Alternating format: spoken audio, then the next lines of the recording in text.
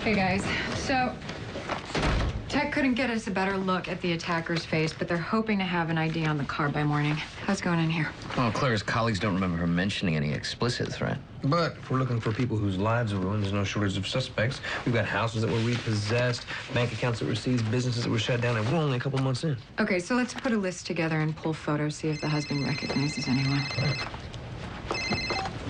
Hey, Castle. Where are you?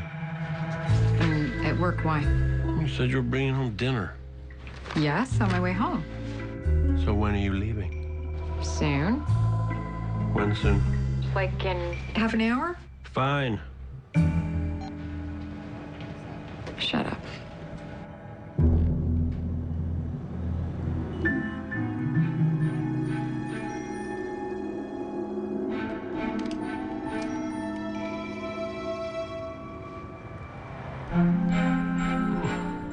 You're so onto